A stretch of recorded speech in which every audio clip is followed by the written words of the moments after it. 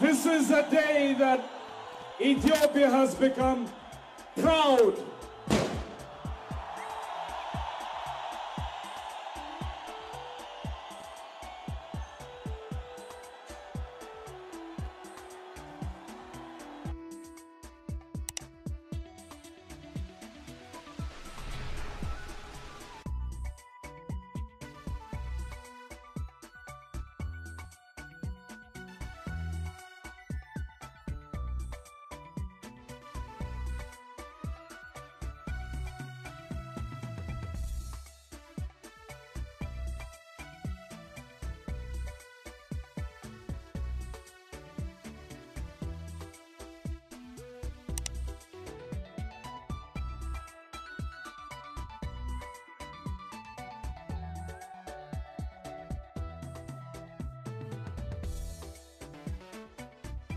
Balachos Gandhi.